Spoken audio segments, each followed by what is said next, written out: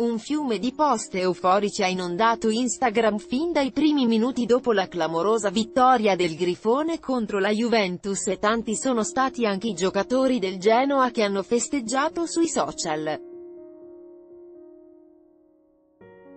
Tutti hanno sottolineato il cuore, la grinta e il carattere del gruppo ma soprattutto la volontà e la necessità di continuare così. Emozioni uniche tornare in campo in questo stadio ha postato Stefano Sturaro una gioia immensa tornare al gol sotto la gridinata nord, mentre il pensiero di Zucanovic va alle vittime della strage in Nuova Zelanda.